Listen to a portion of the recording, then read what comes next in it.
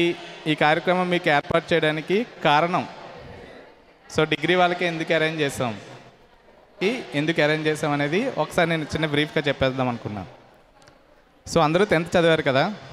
So టెన్త్లో అమాయకత్వం కొంచెం చిరుకుదానం ఓకేనే ఫ్రెండ్స్ కో ఎడ్యుకేషన్ ఉంటుంది కదా? కంబైన్డ్గానే చదువుకుంటారు. సో ఆ వేరియేషన్ అనేది ఎవరికి తెలియదు మనం ఏం చేయాలి మనం ఎలా ఉన్నాం అనేది ఎవరికి తెలియదు టెన్త్ ఫినిష్ చేసిన తర్వాత కాలేజ్కి వస్తాం. కాలేజ్కి వచ్చిన తర్వాత ఇటు అమ్మాయిలైనా అబ్బాయిలైనా ఏం ఏం చేస్తాం? కాలర్ ఎగరేస్తాం ఎందుకంటే మనం పెద్దోళ్ళం అయిపోయాం. సో మనం పెద్దోళ్ళం అయిపోయాం. మనకు అన్నీ తెలుసు. ఇంక ఏం తెలుసు అంటే మీ విలేజ్ నుంచి సిటీకి ఫస్ట్ వే తెలిసింది. అంటే దారి తెలిసింది. నాకు అన్నీ తెలుసు. నేను పెద్దవాడిని అయిపోయాను. సో సో ఫిఫ్టీన్ అయిపోయిన తర్వాత సిక్స్టీన్కి ఇంటర్కి వస్తారు. ఇంటర్లోకి వచ్చేదానికి మీరు ప్రతి ఒక్కరు కాలర్ ఎగరేస్తారు సో డిగ్రీకి వచ్చిన తర్వాత బాధ్యత ఒక ఫ్రెండ్ నెక్స్ట్ రిలేషన్ మనకి చదువు చెప్పే లెక్చరర్ అవ్వచ్చు ప్రిన్సిపాల్ అవ్వచ్చు లేదంటే ఇంకా ఎవరైనా ట్యూషన్ మాస్టర్ ఇంకెవరైనా వాళ్ళకి ఎంతవరకు మనం గౌరవం ఇవ్వాలి? మన సొసైటీలో బతకాలంటే మనకేం కావాలి? ఫుడ్. అది ఎలా సంపాదించుకోవాలి? సో డిగ్రీ తర్వాత చాలామంది ఇందులో జాబ్ చేస్తారు. అవునా? ఎందుకంటే వాళ్ళ కుటుంబ పరిస్థితిని బట్టి కానీ ఇంకొకటి ఇంకొకటి ఏదైనా వాట్ ఎవర్ ఇట్ ఈస్ మన తర్వాత జాబ్ చేయడానికి రెడీ అవుతున్న వాళ్ళు ఇందులో చాలామంది ఉంటారు. సో ఫర్దర్ స్టడీస్కి వెళ్ళే వాళ్ళు చాలామంది ఉంటారు. సో డిగ్రీతో ఆపేసిన తర్వాత మనం ఏం చేయాలి అని అనుకుని ఆలోచించే వాళ్ళు చాలామంది ఉన్నారు. సో బతకడానికి ఏం కావాలి? సో ఆలోచించే టైం అండ్ ఏజ్ ఇదే. ఓకేనా?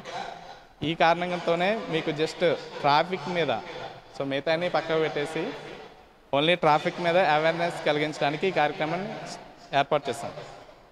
ఓకేనండి సో ఒక చిన్న స్టోరీ. Do or die. తెలుసా ఇది? Do or die. చనిపోయే వరకు పోరాడు. పోరాడు లేదంటే చనిపో అని అర్థం కాదు. దేంట్లో మీకు కావాల్సిన విజయం అవ్వచ్చు ఫుడ్ అవ్వచ్చు మీకు ఏది కావాలో అది. అది మీరు చనిపోయే వరకు పోరాడాలి. సో దీని మీనింగ్. ఇది ఇలా ఒక జీవి ఒక చిన్న జీవి కష్ట దీన్ని ప్రూవ్ చేస్తుంది. అదేంటో తెలుసా ఎవరికైనా? తేనెటీగ తెలుసా ఎవరికైనా? సో తేనెటీగలో మూడు బ్యాచ్లు ఉంటాయి. ఒకటి రాణి ఈగ రెండవది మగ ఈగలు మూడవది కూలి ఈగలు.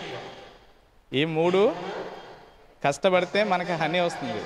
అది మనం ఎలా తెచ్చుకున్నామంటే దొంగతనం చేసి తెచ్చుకున్నాం. మనం తేనెని వేరే జీవి నుంచి దొంగతనం చేసి మనం తెచ్చుకుంటున్నాం. దొంగతనానికి మనం భారీ రిస్క్ చేస్తున్నాం. అది ఎలా అంటే మనకి రిస్క్ అది వేరే వాళ్ళకి పోరాటం. అది చనిపోయే వరకు పోరాడుతుంది ఆ జీవే తేనెటీగ. ఓకేనా? తేనెటీగ అసలు ఏం చేస్తుందంటే ఒక తేనె రాణి ఈగని వెతుక్కుంటాయి. రాణి ఈగని వెతుక్కుని దాన్ని లీడర్ కింద చేసి ఒక తేనె పొట్టుని తయారు చేస్తాయి. ఓకేనా? మగ ఏనుగులు ఒక మైనాన్ని తయారు చేసి గల్లు టైప్లో తయారు చేసి ఒక తేనె పట్టును రెడీ చేస్తాయి కూలి ఈగలు ఏం చేస్తాయంటే ప్రతి పువ్వు దగ్గరికి వెళ్ళి తేనెని తీసుకొచ్చి దాన్ని ఫిల్ చేస్తాయి. ఆ గదుల్ని ఫిల్ చేసి తేనెతో నింపుతాయి. మళ్ళీ మగ ఈగలు ఏం చేస్తాయంటే ఆ పైన మైనపు పొరను వేసి దాన్ని సీల్ చేస్తాయి. ఆ తేనెటీగని సీల్ చేస్తాయి. ఆ తేనెని భద్రపరుస్తాయి. మరి రాణి ఈగ ఏం చేస్తుందంటే? రాణి ఈగ ఏం చేస్తుందంటే రోజుకి రెండు వేలకు పైగా పిల్లల్ని పెడుతుందండి. ఎవరికైనా తెలుసా? రెండు వేలకు పైగా పిల్లల్ని పెడుతుంది. ఈరోజు రెండు వేలని పిల్లలు పెడితే మళ్ళీ మళ్ళీ మార్ ఇవాళ రెండు మంది రెండు వేల మందిని పెట్టేశాను కదా అని రెస్ట్ తీసుకోదు. రెస్ట్ రెస్ట్ తీసుకోకుండా నెక్స్ట్ డే రెండు వే రెండు వేల మంది పిల్లల్ని పెడుతుంది. సో పెట్టకపోతే దాని పరిస్థితి ఏంటి? రాణి ఇక రెండు వేల మంది పిల్లల్ని రోజుకి పెట్టకపోతే ఈ మగ ఈగలు కూలి ఈగలు కలిసి చంపేస్తాయండి. తెలుసా ఈ విషయం ఎవరికైనా? ఆ రోజు అది కష్టపడకపోతే రాణి ఈగని చంపేసి వేరే తేనెటీగ వేరే తేనె రాణి ఈగని వెతుక్కుంటూ వెళ్ళిపోతాయి ఇవన్నీ. అంటే రాణి ఈగ కూర్చుని తినడానికి సరే టైం లేదు. ప్రతిరోజు రెండు వేల గుడ్లని పెట్టాలి పిల్లల్ని చేయాలి పెంచాలి. So life time? Life time తెలుసా తేనెటీగది? మూడు నెలలు బతుకుతుంది. ఓకేనా? దాని జీవం మూడు నెలలు బతికి చనిపోతుంది. కానీ ఈ ప్రాసెస్ రోజు చేయాలి అవి. మగ మగ ఈగలు రాణి ఈగలు కలిపి రోజుకి రెండు వేలు పిల్లల్ని పెట్టాలి. సో మరి కూలి ఈగలు ఏం చేస్తాయంటే తేనె కోసం వెళ్తాయి. పువ్వు కింద పువ్వు మీద ఆలేటప్పుడు మీకు ఎవరికైనా తొండలు తెలుసా? ఈ పువ్వు మీద ఆలే టైంలో తొండలు బల్లులు పాములు. సో ఇంకా ఈ కీటకాలను తినే ప్రతిదీ కాచు కూర్చుంటుంది. దేనికోసం? తేనెటీగ కోసం. అది ఆలే సమయంలో పట్టుకుని తినేద్దామని సో వాటన్నిటినీ జయించి కష్టపడి తేనెని తీసుకొచ్చి ఈ బ్లాక్స్ ఫిల్ చేస్తాయి. ఫిల్ చేసిన తర్వాత మగేగలు మైనంతో కప్పేస్తాయి. మనం చాలా ఈజీగా తేనెని దొబ్బేస్తాం. ఒక చెట్టుకు పట్టిన తేనెని వాటిని పొగబెట్టో లేదా మంట క్రియేట్ చేసో ఇంకేదైనా స్పేస్ జల్లి మనం ఆ తేనెని తీసేసుకుంటాం. అప్పుడు ఏం చేస్తాయి తేనె? తేనెటీగలు ఎవరికైనా తెలుసా? కుడతాయా? తెలుసా? అవి కొడతాయి మనల్ని. వాటి దగ్గర ఉన్న పవర్ఫుల్ వెపన్ ఏంటంటే ఒక ముళ్ళు ఉంటుంది. ఆ ముళ్ళు మన బాడీలోకి వచ్చుకొని ఆ ప్లేస్ అంతా వాచిపోతుంది. సో మనం భరించలేనంత నొప్పి వస్తుంది. ఎందుకంటే దాని వెపన్ అది. దాన్ని ప- తేనెని దాని సమ్రా సామ్రాజ్యాన్ని కాపాడుకోవడం కోసం సో అవి ఫైట్ చేస్తాయి. ఎప్పటి వరకు అంటే చనిపోయేంత వరకు. చనిపోయేంత వరకు మనల్ని పోరాడుతూనే ఉంటాయి ఎదురుస్తూనే ఉంటాయి. జస్ట్ మన మీద వాళ్ళు కుట్టినప్పుడు ఏం చేస్తాం? కొట్టగానే చచ్చిపోతాయి. That the spirit. Do or die. So మనం చనిపోయేంత వరకు ఏదో ఒకటి పోరాడుతూనే ఉండాలి ఏదో ఒకటి దాని గురించి. ఓకేనా? సో మనమందరం కూడా మన లైఫ్లో మన ఎండింగ్ డేస్ వరకు మన లైఫ్ కోసం కష్టపడుతూనే ఉండాలి. సో అలాంటప్పుడే మనం విజయాన్ని సాధించగలుగుతాం. ఈ విషయాన్ని అందరూ గుర్తుంచుకోండి.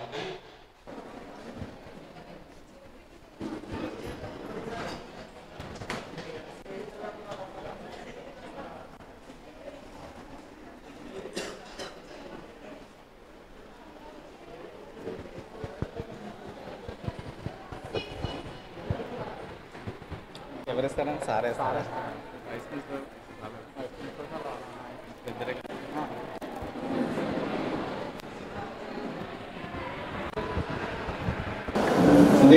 ఇచ్చేసినటువంటి ఫస్ట్ విద్యార్థులందరికీ ధన్యవాదాలు తెలియజేసుకుంటున్నాను. ఇక్కడ ఏర్పాటు చేయడానికి చాలా గల కారణాన్ని మీకు ఆల్రెడీ ముందే చెప్పాను. సో మీరు ఆలోచించగలుగుతారు. మన జీవితంలో ఏది ఇంపార్టెంట్ ఏది ఇంపార్టెంట్ కాదు. అనేది ఆలోచించగలుగుతారని. సో దాని గురించి బౌలింగ్ ట్రాఫిక్ సంబంధించి మనం మోటార్ సైకిల్ నడుపుతున్నాం అంటే దానికి సంబంధించి మన దగ్గర ఏం ఉండాలి ఏం ఉండకూడదు అనే విషయం గురించి అవేర్నెస్ కలిగించడానికి ఈ కార్యక్రమాన్ని కాలేజ్లో ఏర్పాటు చేయడం జరిగింది. సో మీకు తెలియజేయడానికి ఈ విషయాలను తెలియజేయడానికి ఇక్కడికి ఇచ్చేసినటువంటి motorcycle inspector Sampath Kumar గారికి ధన్యవాదాలు చేస్తున్నాం తెలియజేస్తున్నాం. నేను వేదికను అలంకరించి అలంకరించవలసిందిగా కోరుచున్నాం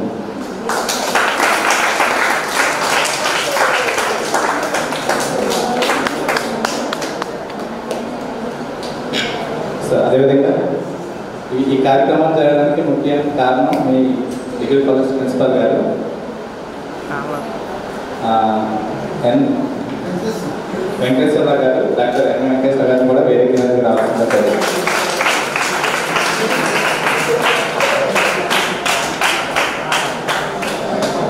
థ్యాంక్ యూ సార్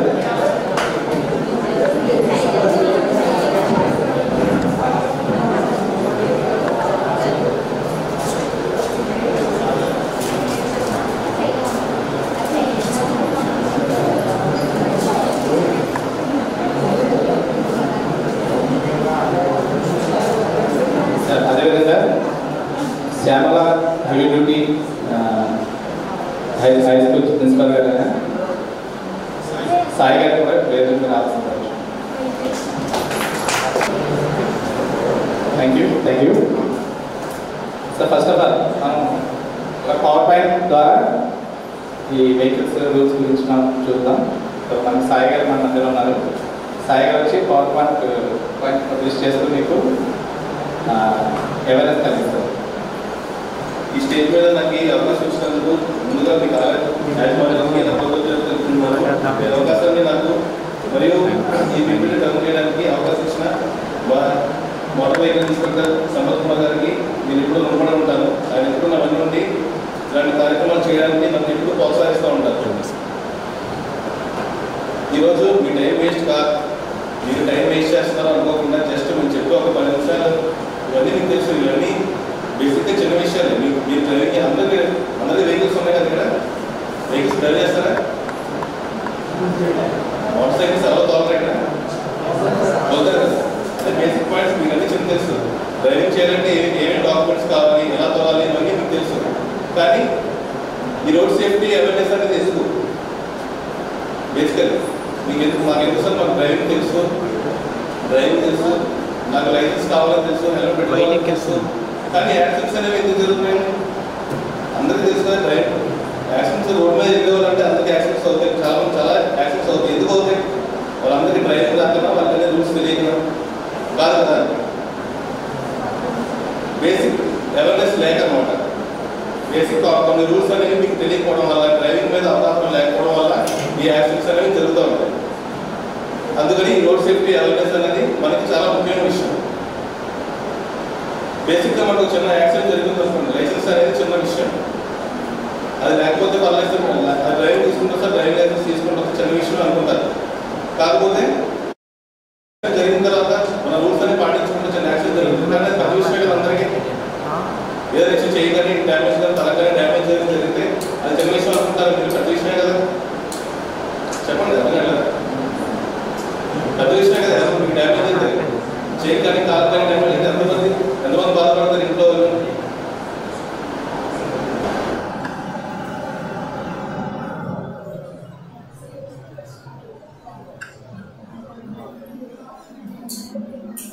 రోజు ఖచ్చితంగా మీరు మాస్క్ పెట్టుకుని ఉంటుంది మీ మాస్క్ అనేది కంపల్సరీ ఉంటుంది ఎందుకు భయపడతారు నేను ప్రయాసాలు భయపడతారా లేకపోతే మీకు ఏదో కరోనా వస్తుంది భయపడతారా భయపడి మాస్క్ పెడతారా మీరు ఈ ఫైనాన్స్ భయపడతారు అదే హెల్మెట్ పెట్టుకుంటారు రోజు వన్ వే వచ్చినప్పుడు ఖచ్చితంగా హెల్మెట్ పెట్టుకుంటారు వన్ వే హెల్మెట్ అనేది ఖచ్చితంగా ఎందుకని ఎందుకని పెట్టుకోరు ఈ ఫైనాన్స్ కదా దానికి ఏదైనా యాక్షన్ జరిగితే మీకు దాని నుంచి మీకు దాని నుంచి ప్రొటెక్షన్ చేయడానికి మీకు హెల్మెట్ అనేది ఖచ్చితంగా అవసరం ఇది- మీరు మాస్క్ అయితే ఎలాగైతే పెట్టుకుంటారో దానికి డ్రైవ్ చేసినప్పుడు హెల్మెట్ అనేది ఖచ్చితంగా పెట్టుకోవాలి.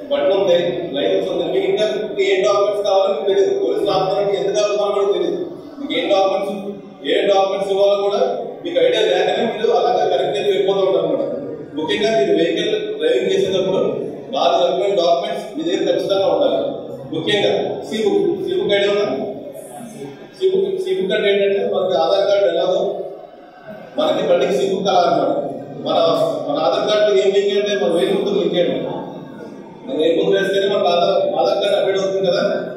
అలాగే బండి సి బుక్ ఏంటంటే దానికి దాన్ని గుర్తించడానికి ఛార్జెస్ నెంబర్ ఇంజిన్ నెంబర్ అనేవి ఉంటాయి. అది ఏ బండికి ఒకేలా ఉండదు. మన అందరికీ వేలు ముద్రలు ఎలా అయితే వేరే వేరేగా ఉంటాయో బండికి ఛార్జెస్ నెంబర్ ఇంజిన్ నెంబర్ అన్నమాట సో సి బుక్ అనేది ఒక బండికి ఆధార్ కార్డు లాగా అనమాట next insurance certificate. Insurance certificate sir మాకు బాగా డబ్బులు ఉన్నాయి సార్ మేము ఒకవేళ యాక్షన్ చేస్తున్నాం బండి మేము రిపేర్ చేసుకోగలం సార్ అంటే అలా పోతుంది ఇన్సూరెన్స్ సర్టిఫికేట్ అనేది మ్యాండేటరీగా కోర్ట్ అనేది ఇష్యూ చేస్తున్నారు ఇన్సూరెన్స్ అనేది కంపల్సరీ అనమాట మీకు మరి మీకు అవసరం అయితే అవ్వదు.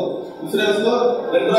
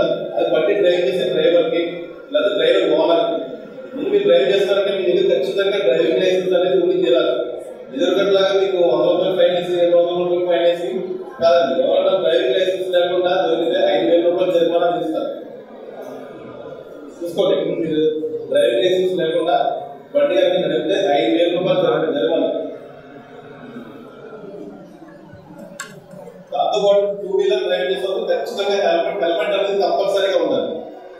అది మీరు సింగిల్ వెళ్తే మీకు కంపల్సరీగా మీకు ఉండాలి. వెనకాల ఇంకొక అతను మీ పిలియన్ పిలియన్ డ్రైవర్ కూడా ఖచ్చితంగా ఇద్దరికి హెల్మెట్ అనేది ఖచ్చితంగా ఉండాలి.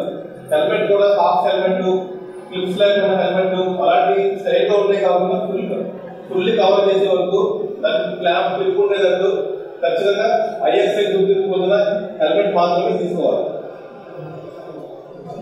అసలు యాక్సెస్ అనేది ఎందుకు జరుగుతుంది రీజన్స్ యాక్సెస్ అనేవి ఎందుకు జరుగుతాయండి ర్యాష్ డ్రైవింగ్ ర్యాష్ డ్రైవింగ్ వల్ల ముఖ్యంగా road యాక్సిడెంట్స్లో seventy five percent speed driving వల్ల యాక్సిడెంట్స్ అనేది జరుగుతుంది. ర్యాష్గా వెళ్ళడం స్పీడ్గా వెళ్ళడం లేన్ డిసిప్లిన్ లేకపోవడం ఇవన్నీ మెయిన్ కాలేజ్ అన్నమాట. స్పీడ్గా వెళ్ళడం వల్ల ఎందుకంటే యాక్సిడెంట్ జరుగుతాయి స్లోగా వెళ్ళే బండికి స్పీడ్ వెళ్ళే బండికి చాలా డిఫరెన్స్ మీరు ఎలా వెళ్తే అలాగా కంట్రోల్ చేసుకోవడానికి వీలుగా ఉంటుంది. కానీ స్పీడ్ ఓవర్ స్పీడ్ వెళ్ళే బండిని మీరు కంట్రోల్ చేసే విధానం చాలా ఉంటుంది. బ్రేకింగ్ టైం అనేది మీ బ్రేక్ టైం మీ ఇక్కడ నుంచి ఇక్కడ ఆ డిస్టెన్స్లో ఆపే టైం వేరే ఉంటుంది.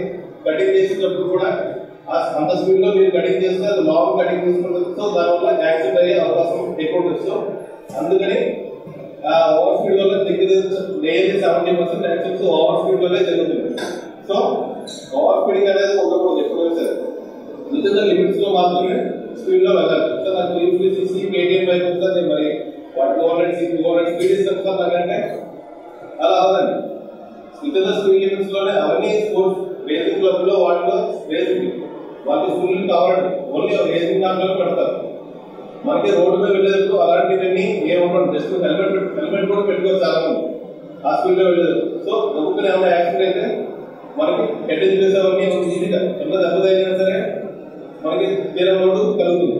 సో ఓవర్ స్పీడింగ్ అనేది చేయలేదు చేయకూడదు. విత్ ద లో మాత్రమే వెళ్ళాలి.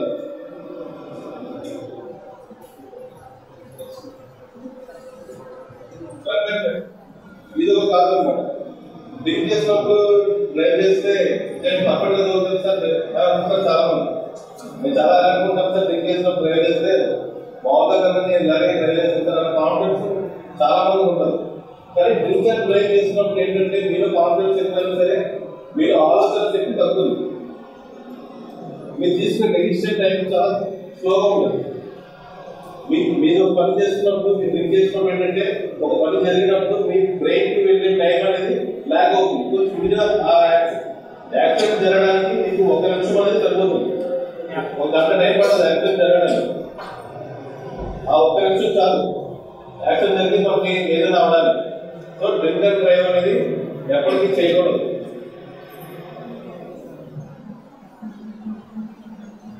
రాంగ్ సైడ్ డ్రైవింగ్ సరే యూటర్న్ తీసుకోవడానికి రెండు కిలోమీటర్లు వెళ్ళాలి నేను. మళ్ళీ ఒక రెండు కలిసి వచ్చేస్తాను సార్ రాంగ్ రాంగ్ సైడ్ నుంచి వెళ్ళిపోతే నా నా దాన్ని వెళ్ళిపోతే అలా ఉంది ఎందుకంటే మీరు రాంగ్ సైడ్ వచ్చినట్టు నేను వన్ వే అనుకోండి. మీరు అదే వస్తుంటే ఇవే ఏదైనా వెహికల్ ఓవర్టేక్ చేసినప్పుడు మీ ముందు వచ్చినప్పుడు యాక్సిడెంట్ జరగడానికి చాలా ఆస్కారం ఉండేది దగ్గర five percent wrong side driving వల్ల జరుగుతుంది. సో మీరు ఎక్కడైనా యూటర్న్ కొంచెం దూరంగా ఉన్నా సరే ఒక అర కిలోమీటర్ అయినా కిలోమీటర్ అయినా తప్ప ఒక కిలోమీటర్ కోసం మనం ఆలోచన వెళ్ళిపోతాం కదా? సో ఎక్కడైనా రాంగ్ సైడ్ డ్రైవింగ్ అనేది చేయగలరు ఒకవేళ రైట్ సైడ్ సిగ్నల్ చేసి వెళ్ళిపోతుంది సార్ హైవే వేసి వెళ్ళిపోతుంది సార్ లైటింగ్ అంటే లైటింగ్ ఈజీగా ఐడెంటిఫై అవ్వగలిగిన రాంగ్ సైడ్ వచ్చే వాళ్ళకి అని చెప్పి అలాంటి సాధనాలు కూడా అవ్వదండి ఎప్పుడైనా రాంగ్ సైడ్ డ్రైవింగ్ అనేది చేయగలరు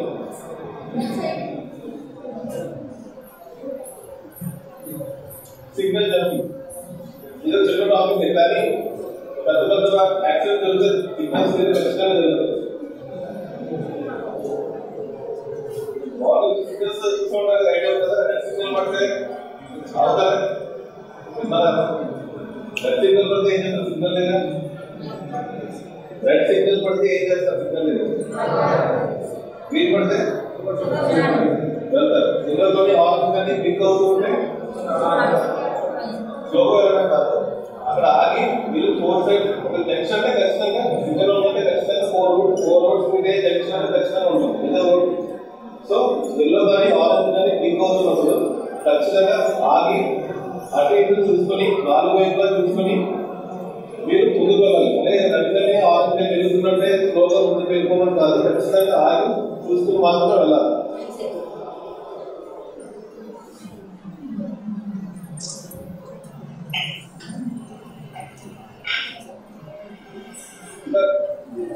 నెక్స్ట్ కాదు మెయిన్ కాదు ఏంటంటే cell phone driving cell phone driving driving చేస్తూ ఈ మధ్య ఫ్యాషన్ ఉంటుంది డ్రైవింగ్ చేస్తూ ఫోన్ చాటింగ్ చేసుకుంటా అది వచ్చేసుకొని అది మెసేజ్ పడుతూ ఉంటారు. మనం డ్రైవింగ్ చేస్తున్నప్పుడు ఎటువంటి ఎలక్ట్రానిక్ గ్యాడ్జెట్ అనేది యూజ్ చేయకూడదు. ఫోన్ మాట్లాడడం కానీ రెండు నిమిషాలైనా సరే రెండు నిమిషాలు నేను ఇంటికి వచ్చేస్తాను ఫోన్ పెట్టేస్తానని చెప్పి అలా కూడా చేయకూడదు. ఎప్పుడైనా మీరు ఫోన్ మాట్లాడాలంటే పర్ఫెక్ట్ పార్కింగ్ జోన్ చూసుకుని రెండు నిమిషాలు పక్క తాగి ఫోన్ మాట్లాడేసి అప్పుడు మాత్రం వెళ్ళాలి. ఫోన్ మాట్లాడడం వల్ల ఏంటంటే మీ మీ మైండ్ అనేది కొంచెం డైవర్ట్ అవుతుంది. డ్రైవింగ్ మీద మీ కాన్సన్ట్రేషన్ కలుగుతుంది ఫోన్లో ఉన్న వాళ్ళ వ్యక్తుల మీద మీ కాన్సన్ట్రేషన్ పెరుగుతుంది. సో మీ తక్కువ డ్రైవ్ వల్ల ఏంటంటే మీ మీ మైండ్ డైవర్ట్ అవుతుంది.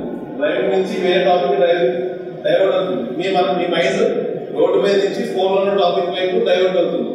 సో సెల్ ఫోన్ డ్రైవింగ్ అనేది ఎప్పుడైనా ఆగి సేఫ్ ప్లేస్లో పార్కింగ్ చేసుకుని అప్పుడు మాత్రమే మీరు ఫోన్ మాట్లాడుకుని దాని నెక్స్ట్ పోవాలి అంతేగాని సెల్ ఫోన్ డ్రైవింగ్ చేస్తూ మాట్లాడకూడదు. ఫోన్లో చాటింగ్ చేస్తూ కూడా డ్రైవ్ డ్రైవ్ చేయకూడదు.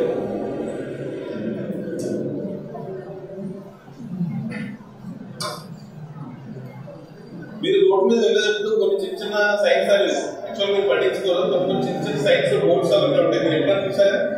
ఇలా బోర్డ్ చూసారు ఎక్కడ ఎక్కడ అక్కడ పాటిస్తారు చూసి వెళ్ళిపోతారు అవన్నీ మీకు తెలుసు తెలుసా తెలీదా అక్కడ చూసి బయట తీసి వెళ్ళిపోతారు ముఖ్యంగా మీరు రోడ్డు మీద రోడ్డు మీద ప్రయాణించేటప్పుడు హైవే మీద కానీ లోకల్లో కానీ ఎక్కడైనా మీరు అలాంటి ఇలాంటి రోడ్ సైన్స్ చూస్తారు రోడ్ సైన్స్ అంటారు అన్నమాట ఈ రోడ్ సైన్స్లో ముఖ్యంగా మూడు రకాలు ఉన్నాయి కొన్ని చూడండి అన్ని అన్ని ఒకే ఆకారాల్లో కనిపించండి కొన్ని సర్కిల్లో సర్కిల్లో చూస్తారు సపోజ్ మీరు ట్రాఫిక్ ట్రాఫిక్ పోలీస్ చేతిలో రౌండ్గా బోర్డు చూసారా స్టాప్ ఉంటుంది కదా? అది రౌండ్గా ఉంటుంది కదా?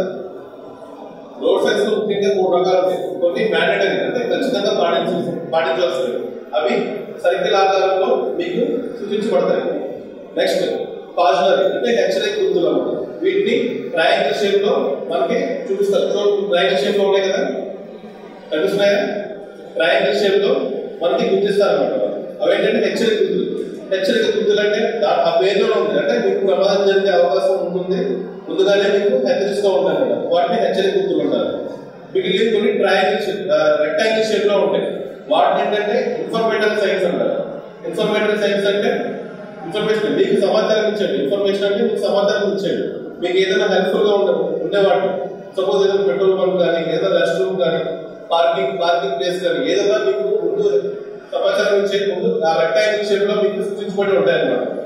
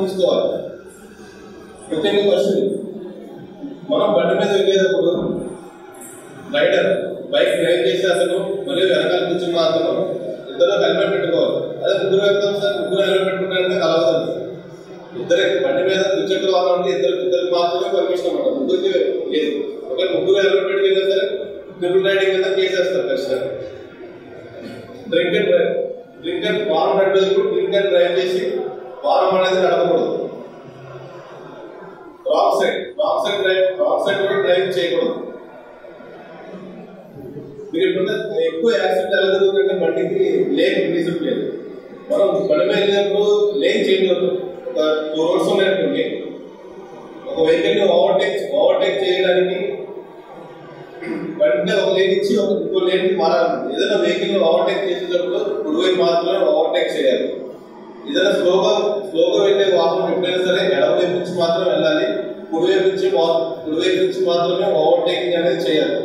ఎడమ ఎప్పుడు ఎడమవైపు నుంచి ఓవర్టేక్ చేయకూడదు. ఒకవేళ కనుక మీరు లెఫ్ట్ రోడ్ మీద లెఫ్ట్ సైడ్ కనుక తిరగాలంటే మీరు ఫస్ట్ లెఫ్ట్ ఇండికేటర్ ఖచ్చితంగా ఇవ్వాలి. ఏ సైడ్ తిరిగితే ఆ సైడ్ అనమాట మీరు ఒకవేళ రైట్ లెఫ్ట్ సైడ్ తిరగాలి కానీ మీరు రైట్ లేకుండా వెళ్తారు. ఖచ్చితంగా మీరు లెఫ్ట్ సైడ్ ఇండికేటర్ వేసుకొని లెఫ్ట్ సైడ్ లెఫ్ట్ సైడ్ లేన్లోకి వచ్చి అప్పుడు మాత్రమే మీరు లెఫ్ట్కి తిరగాలి. వెంటనే తిరగకూడదు.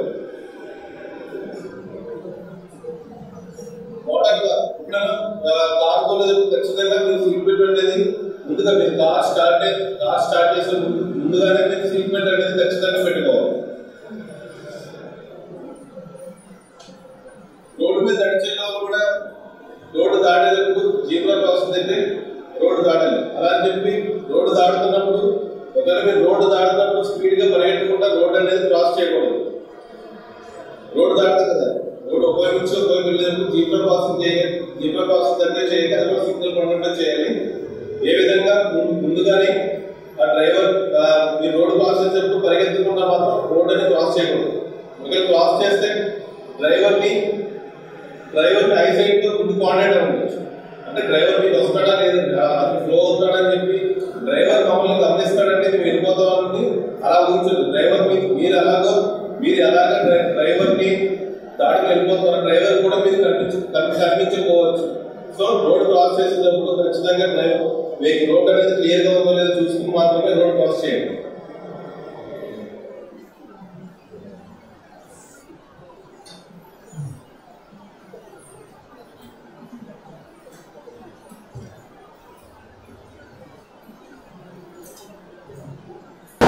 మీరు మార్వెల్ సినిమాస్ చూస్తారు కదా Guardians of Galaxy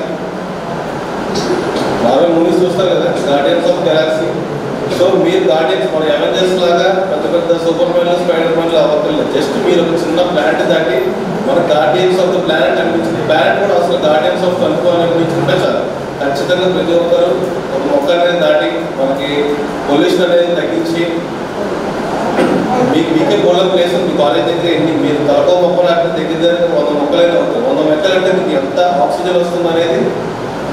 మీరు ఆర్ట్స్ కాలేజ్ స్టూడెంట్సే కదా? ఆర్ట్స్ కాలేజ్ స్టూడెంట్స్ కదా?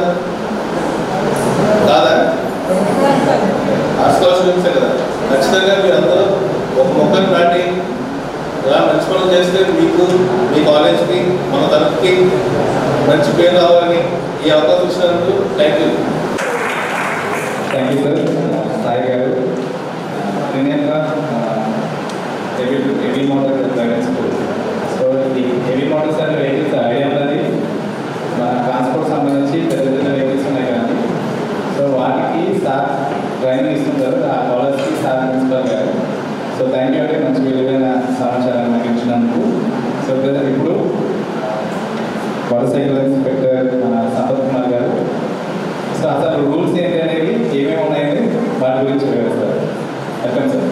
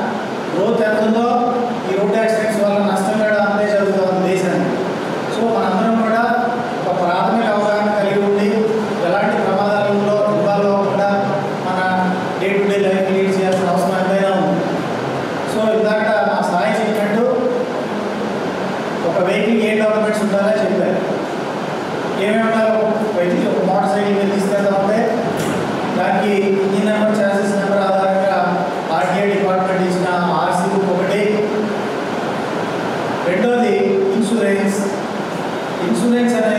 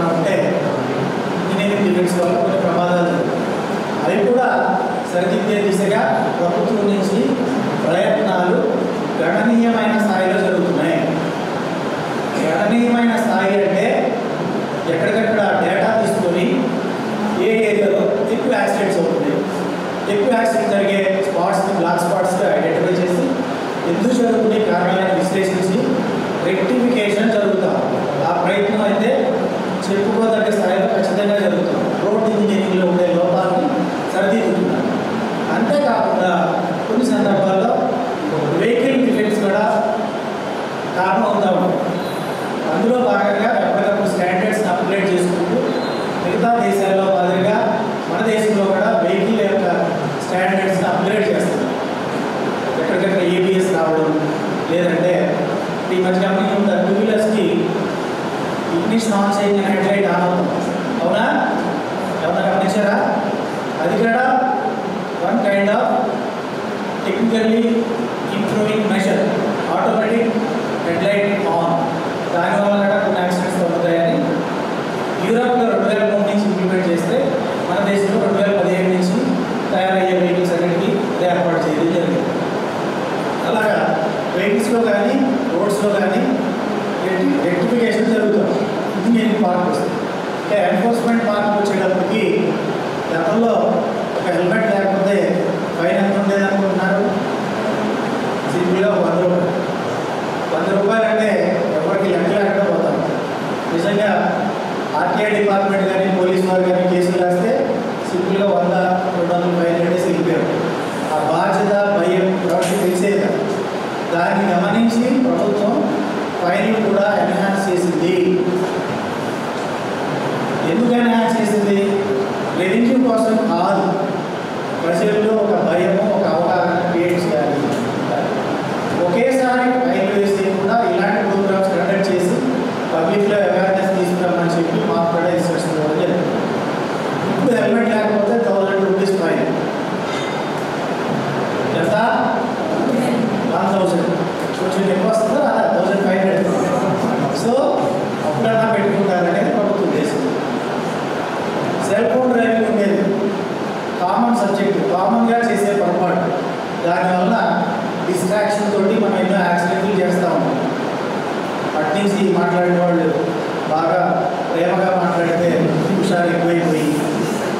tierra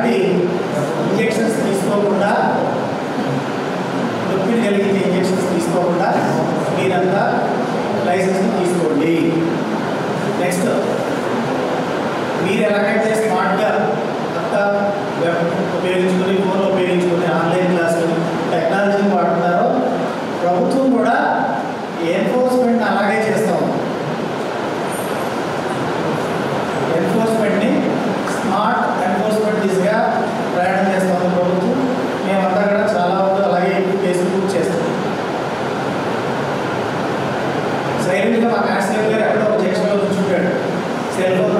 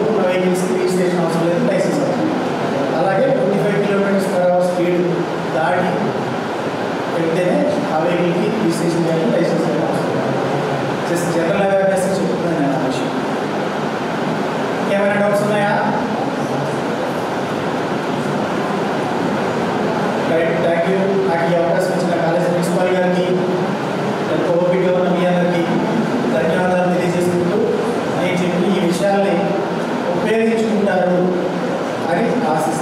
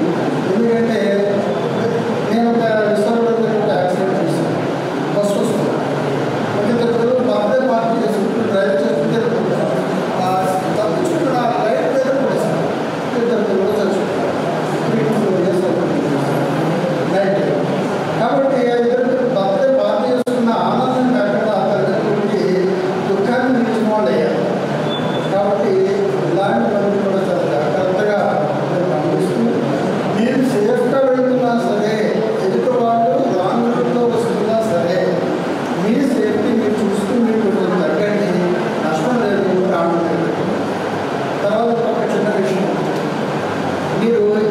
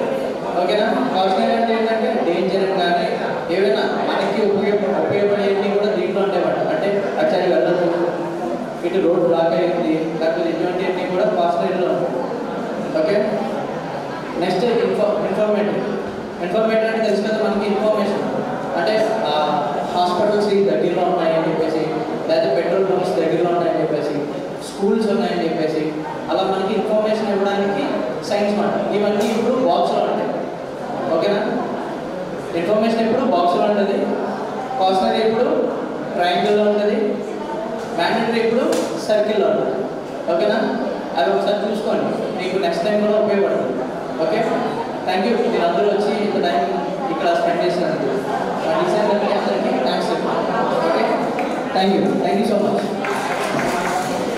sir good afternoon sir నమస్తే అండి. సో మీ కాలేజ్లో ట్రాఫిక్ నిబంధనలపై సార్ సంపత్ కుమార్ గారు వచ్చి కొన్ని అవేర్నెస్ కలిగించారు. అవును.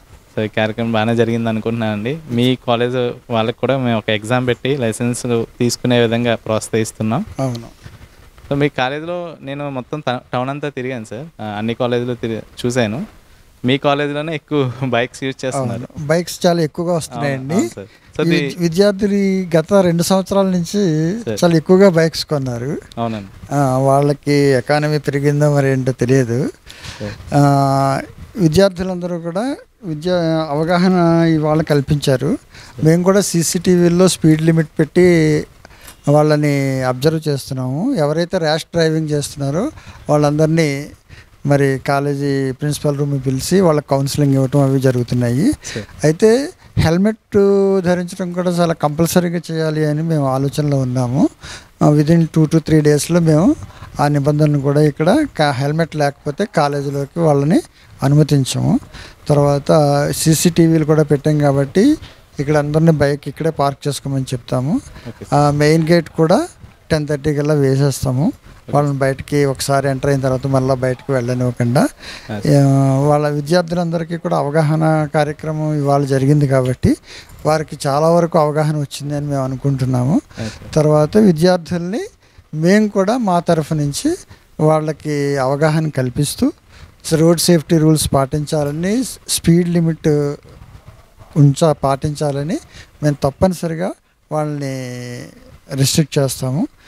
ఒకవేళ ఎవరైనా కనుక నియమ నిబంధనలను అతిక్రమిస్తే వాళ్ళ మీద చర్య కూడా తీసుకుంటాం. వాళ్ళ పేరెంట్స్కి వాళ్ళకి ఇన్ఫామ్ చేసి తప్పనిసరిగా వాళ్ళందరూ కూడా ఈ రోడ్ ట్రాఫిక్ రూల్స్ని వాటిని పాటించాలని కాలేజీలో కూడా మరి పొల్యూషన్ చెక్ లేకుండా ఏదైనా వాహనాన్ని తీసుకొచ్చినట్లయితే వాళ్ళని అనుమతించకుండా క్లాస్ టీచర్స్ అందరితో సహకారంతో నేను చర్య తీసుకుంటానని మనస్ఫూర్తిగా తెలియజేస్తున్నాను. Thank you sir thank you so much అండి. మాకు ఈ టీసీఎన్కి ఇంత మంచి అవకాశాన్ని ఇచ్చి ఒక కార్యక్రమాన్ని జరిపించడానికి సహకరించిన మీకు మీ స్టాఫ్ అందరికీ టీసీఎన్ తరపు నుంచి ధన్యవాదాలు తెలియజేస్తున్నాను థ్యాంక్ యూ అండి. Thank you so much sir